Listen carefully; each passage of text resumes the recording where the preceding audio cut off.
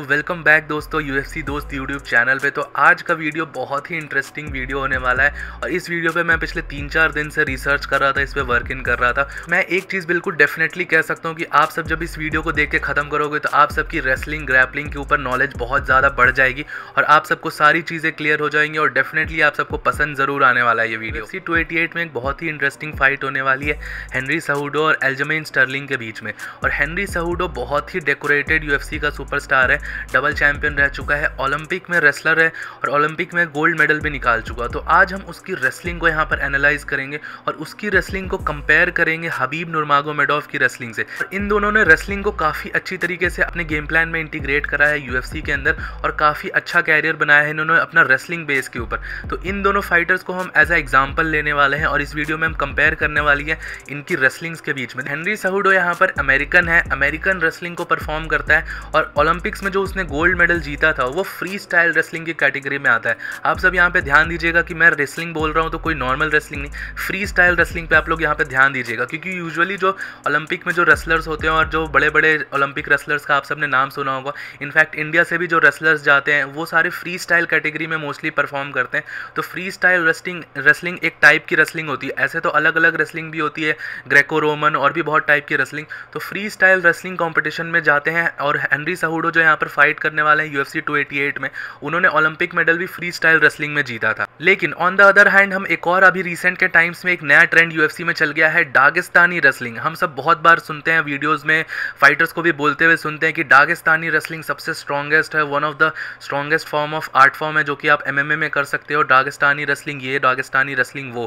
तो इसके बारे में हम आज इन दोनों रेसलिंग्स को कंपेयर करेंगे अमेरिकन रेसलिंग और डागिस्तानी रेसलिंग और देखेंगे कि कौन किसके लिए ज़्यादा बेटर है यूएफसी में किसका इस्तेमाल ज़्यादा किया जा सकता है? और विथ एग्जाम्पल्स भी आप सबको समझाऊँगा कि ये कैसे कैसे परफॉर्म किया जाता है, कैसे कैसे दोनों के बीच में डिफरेंसेस है सिमिलैरिटीज़ है। लेकिन उससे पहले भाइयों, आप सबसे रिक्वेस्ट है कि चैनल को सब्सक्राइब भी कर दीजिएगा।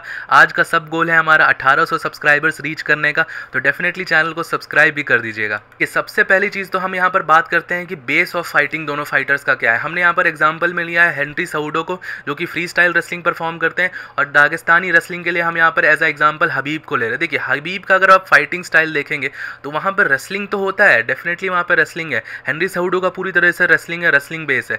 लेकिन हम यहाँ पर एक और चीज़ देख सकते हैं हबीब का फाइटिंग बेस फाइटिंग स्टाइल सिर्फ़ रेसलिंग नहीं है। उसके साथ साथ एक वर्ड और बहुत बार यूज़ होता है, वो है सांबो तो देखिए, अब यहाँ पर बात आती है कि सांबो क्या होता है। सांबो देखिए सांबो कुछ भी नहीं होता। सांबो का अगर हमें ट्रांसलेशन करेंगे तो उसका मतलब होता है सेल्फ डिफेंस ये रशिया के टाइम पे नाइनटीन के टाइम पे रशिया में एक special form of art form combat का आर्ट फॉर्म निकाला गया था डेवलप करा गया था सेल्फ डिफेंस के लिए। इसमें सारी चीज़ें इन्वॉल्व होती है इसमें रेसलिंग भी होती है ग्रैपलिंग भी होती है, थोड़ी बहुत स्ट्राइकिंग भी होती है किकिंग का भी गेम होता है। तो सांबो में सारी चीज़ें इंक्लूडेड होती हैं। और देखिए, सांबो कोई एक तरीके का सांबो नहीं होता। सांबो में भी बहुत तरीके का होता है, बीच सांबो अलग अलग तरीके के सांबो। और हबीब जो सांबो में स्पेशलाइज थे और हबीब जिसके वर्ल्ड चैंपियन थे सांबो में, वो था कॉम्बैट सांबो। इसमें स्ट्राइकिंग का भी बहुत ज़्यादा यूज़ होता है और इसके मैचेस आप समझ सकते हो, एक तरीके से आप देख सकते हो किक बॉक्सिंग के मैचेस से आप ले सकते हो। लेकिन किक बॉक्सिंग में कोई ग्रैपलिंग नहीं होती, उसमें कोई टेकडाउन वगैरह नहीं होता। लेकिन इसमें आपको किक बॉक्सिंग के साथ साथ टेकडाउन वगैरह भी देखने को मिल सकता है आप सबको कॉम्बैट सांबो में।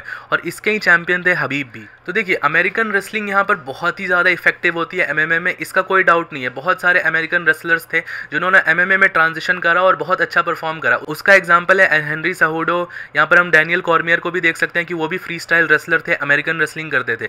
लेकिन अमेरिकन रेसलिंग बहुत इफ़ेक्टिव होने के साथ साथ उसके साथ एक डाउनफॉल उसका मेजर ये है कि वो बहुत टायरिंग होती है। उसके लिए आपको बहुत ज़्यादा गैस टैंक रखना पड़ेगा।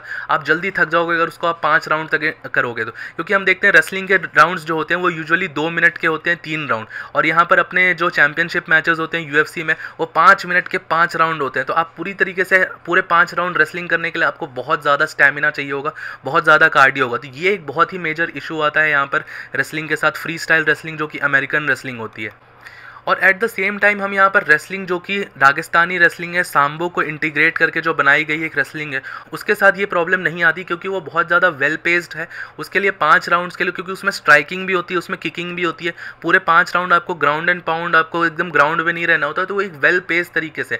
ये एक डेफिनेटली बेनिफिट है दागिस्तानी रेसलिंग जो कि सांबो से इंस्पायर होकर बनी हुई है। अगला पॉइंट जो कि अमेरिकन रेसलिंग को लेकर मैं आप सबको बताऊँगा, आप अमेरिकन रेसलिंग का एम देखो। ये जो फ्री स्टाइल रेसलिंग जो कि इंडियन रेसलर्स भी करते हैं हैं अमेरिकन रेसलर जो कि ओलंपिक में होती है, इसका एम क्या होता है? इसका एम होता है पॉइंट स्कोर करना। हमारा देख सकते हैं कि अगर अभी आपका नीचे का बैक का आपको टच कराना होता है, एक रेसलर का जो फ्री स्टाइल रेसलिंग में जो मैच चल रहा होता है, उसमें एक रेसलर का एम क्या होता है? उसमें होता है कि सामने वाले अपोनेंट का बैक टच कराना है ग्राउंड पे, और जैसे ही बैक टच होती है, वैसे ही पॉइंट मिल जाता है और तुरंत दोनों को डिसंगेज कर दिया जाता है। दोनों फाइटर्स जैसे ही ग्राउंड पे जाते हैं और वहाँ पर पॉइंट मिलता है, वैसे ही उनको डिसंगेज कर दिया जाता है। ज़्यादा देर तक ग्राउंड पे चीज़ें नहीं रहने के लिए होती, एकदम स्नैप तुरंत तुरंत पॉइंट्स होते हैं और तुरंत तुरंत वापस से स्टैंडिंग कर दिया जाता है। तो बेसिकली जो अमेरिकन रेसलिंग का एम होता है, वो होता है कि जानबूझ के बस वहाँ पर पॉइंट्स लेने का। अपोनेंट को होल्ड करके रखने का वहाँ पर कोई भी एम नहीं होता और at the same time sambo और जो कि ये जो दागिस्तानी रेसलिंग है, जो ये करी जाती है, इसका एम ही होता है कि पोजिशन पे होल्ड करके रखना, अपने नीचे वाले अपने अपोनेंट को ग्राउंड पे जितनी ज़्यादा से ज़्यादा देर तक होल्ड करने का और वहाँ पर उसके ऊपर ग्राउंड एंड पाउंड भी कर सकते हैं हम यहाँ पर सांबो में। तो ये सारी चीज़ें एडवांटेज होती है सांबो फाइटर्स की। इसीलिए आप सब एक चीज़ और नोटिस कर पाते होगे कि ये जो अमेरिकन रेसलर्स जो यूएफसी में फाइट करते हैं, जैसे कोबी कोविंगटन हो गया या हेनरी सहुडो या डैनियल कॉर्मियर ये सब देख सो, आप एक बार टेक डाउन करते हैं तो इसके बाद जो फाइटर्स होता है वो उठ जाते हैं, वापस खड़े हो जाते हैं। यूजुअली फाइटर्स इनके जो ये टेक डाउन करते हैं, ये वापस खड़े हो जाते हैं। एट द अदर हैंड अगर हम हबीब की इस्लाम मकाशेव वगैरह की फाइट्स देखें तो उसमें आप देख सकते हो, जब भी ये किसी को टेक डाउन करते हैं तो सामने वाले अपोनेंट का उठना बहुत ज़्यादा मुश्किल हो जाता है, क्योंकि सारा ज़्यादातर लोगों को पता ही नहीं है कि ये जो गेम होता है, ये पूरा होल्ड करने का ही होता है। और इसमें जो दागिस्तानी फाइटर्स होते हैं, वो काफ़ी ज़्यादा अपना पूरा दिमाग होता है उनके पास, वो पूरी टेक्निक होती है और उनका जो पूरा एम रहता है कि अपोनेंट को नीचे ही होल्ड करके रखने का पूरा राउंड तक। तो ये सारी चीज़ें होती हैं जो कि बेनिफिट देती है कॉम्बैट सांबो को और सांबो से इंस्पायर्ड दागिस्तानी रेसलिंग को। अगला पॉइंट जो मैं आप सबको एक्सप्लेन करूँगा, वो बहुत ही ऑब्वियस है। फ्री स्टाइल रेसलिंग में कुछ भी स्ट्राइकिंग नहीं होती। आप किसी भी अपोनेंट को हिट नहीं कर सकते हो पंचेस थ्रो नहीं कर सकते हो किक्स थ्रो नहीं कर सकते, आप पूरी तरीके से बैन हो जाओगे मैच से डिस्कालीफाई हो जाओगे। तो ये जो रेसलर्स जो एम में आते हैं, उनको फिर स्ट्राइकिंग करने की भी ज़रूरत पड़ती है। फिर उनके पास कोई स्ट्राइकिंग का एक्सपीरियंस नहीं होता, जो रेसलर्स एम में आते हैं।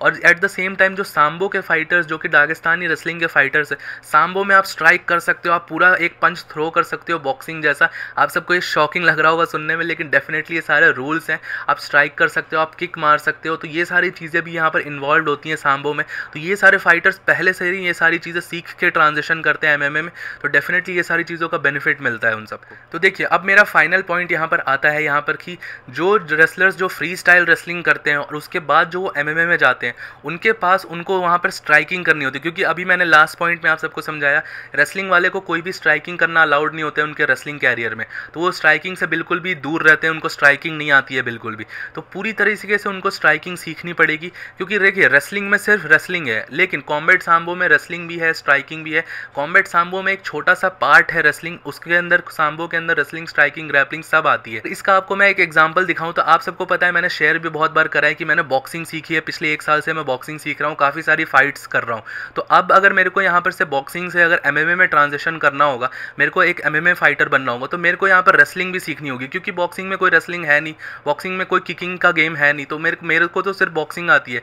तो यहाँ पर अगर मेरे को एमएमए फाइटर बनना है तो मेरे को सारी चीज़ें सीखनी पड़ेंगी एक एक करके ग्राउंड गेम ग्रैपलिंग समिशन जियो और तब मैं जाके एक एम फाइटर बनूँगा। और मेरा फिर भी जो मेजर बेस होगा, वो मेरा बॉक्सिंग का ही होगा, वो, ये सारी चीज़ें मैं कितनी ज़्यादा भी सीख लूँगा, लेकिन उन सब मैं उतना ज़्यादा मास्टर नहीं कर पाऊँगा। ऑन द अदर हैंड कोई सांबो का फाइटर जो अभी सांबो की ट्रेनिंग कर रहा होगा, और उसको अगर एम का फाइटर बनना होगा तो उसके पास बहुत सारे एडवांटेजेस होंगे। उसके पास किकिंग गेम ऑलरेडी होगा, उस पर पंचिंग गेम ऑलरेडी होगा, उसको स्ट्राइकिंग ऑलरेडी आती होगी, उसको ग्रैपलिंग जियोजिट्सू वगैरह सब आता होगा तो उसको ये सारी चीज़ें और ये सारा ट्रांजेक्शन करना बहुत ईजी पड़ जाएगा, और वो शायद से डोमिनेट भी करेगा, और मेरे से ज़्यादा सक्सेसफुल बन पाएगा। तो देखिए डेफिनेटली कोई एक सिंगल स्पोर्ट वाला जो फाइटर होता है, एक कोई बॉक्सर होगा या कोई रेसलर होगा, उसको ज़्यादा प्रॉब्लम होगा एम ट्रांजेक्शन करने के लिए। और जो कॉम्बैट सांबो का जो फाइटर्स होंगे, इनको एक बहुत ही ज़्यादा सिग्निफिकेंट एडवांटेज होता है एमएमए में ट्रांजेक्शन करने के लिए। आप सब ध्यान दीजिएगा, मैं यहाँ पर एमएमए की बात कर रहा हूँ मिक्स मार्शल आर्ट्स की बात कर रहा हूँ। एक और बहुत इंटरेस्टिंग एग्ज़ाम्पल आप सबके साथ शेयर करना था मुझे। देखिए, हम सब एक फाइटर को जानते थे जो कि यूएफसी के मिडिल वेट डिवीज़न में था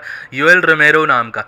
तो अगर आपको यूएल रोमेरो के बारे में नहीं पता तो यूएल रोमेरो एक बहुत ही तगड़ा रेसलर था। रोमेरो ने भी 2002 के ओलंपिक्स में सिल्वर मेडल जीता था फ्री स्टाइल रेसलिंग में। लेकिन अगर आपने उसकी फाइट्स को फॉलो करा होगा तो वो रेसलिंग तो बहुत रेयरली करता था, वो टेक की तरफ़ जाता ही नहीं था। हम सबको भी ये क्वेश्चन आपको दिमाग में अगर आपने यूएल रोमेरो को फॉलो करा होगा, कि क्यों नहीं जाता था वो रेसलिंग की तरफ़? क्यों अमेरिकन रेसलर था वो इतना तगड़ा? उसके पास फ्री स्टाइल रेसलिंग थी तो वो रेसलिंग क्यों नहीं करता था? वो इजिली फाइट्स जीत सकता था इसराइल एडसानिया को टेक डाउन कर सकता था। कि इसके सारे रीजन की यूएल रोमेरो रेमेरो क्यों नहीं रेसलिंग यूज़ करता था? ये जो मैंने पिछले पॉइंट्स आपको बताए, उससे हो सकते हैं। देखिए, सबसे पहला रीज़न कि टायर आउट हो जाओगे आप सब आप सब डेफिनेटली देख सकते हो यूएल रेमेरो का कार्डियो इशू था ऑलरेडी और अगर वो रेसलिंग करेगा पाँच राउंड तो जो, बहुत जल्दी थक जाएगा। एक और रीज़न यूएल रेमेरो का ये भी था कि उसके हाथों में बहुत ज़्यादा पावर थी और डेफिनेटली वो किसी को भी नॉकआउट कर सकता था। तो ये भी एक रीज़न था। तो डेफिनेटली चार टायरिंग का एक रीज़न था। उसके बाद यही रीज़न था कि ऑब्वियसली वो होल्ड नहीं कर पाता था। अगर आपने इसराइल अडसानिया की उसकी फाइट देखी होगी तो उसने इसराइल अडसानिया को टेक डाउन करा था उस फाइट में, लेकिन वो टेक डाउन को ज़्यादा देर तक होल्ड नहीं कर पाया था, इसलिए वो टेक डाउन काउंट नहीं हुआ था वहाँ पर। तो डेफिनेटली ये सारी चीज़ें भी होती कि आप फ्री स्टाइल फाइटर्स ज़्यादा होल्ड नहीं कर पाते अपोनेंट को नीचे, और उनको काफ़ी ज़्यादा स्पेस भी चाहिए होता है वर्क इन करने के लिए केज के अगेंस्ट कैसे फाइट करना होता है, वो भी उनको आइडिया नहीं होता। तो भाइयों एंड में कंक्लूजन यही रहेगा कि मैं फ्री स्टाइल रेसलिंग को कुछ कम नहीं कह रहा हूँ, कुछ ख़राब नहीं कह रहा हूँ। अगर इस टाइम पे एक रेसलर जो कि फ्री स्टाइल रेसलिंग करता है, और एक जो सांबो का फाइटर या जो डागिस्तानी फाइटर है, अगर दोनों के बीच में रेसलिंग मैच कराएँगे तो इस टाइम पे भी ये डेफिनेटली है कि रेसलिंग में सीधा सीधा स्टेट अप रेसलिंग में एक फ्री स्टाइल रेसलर हरा देगा, उसको पॉइंट स्कोर करके जीत जाएगा।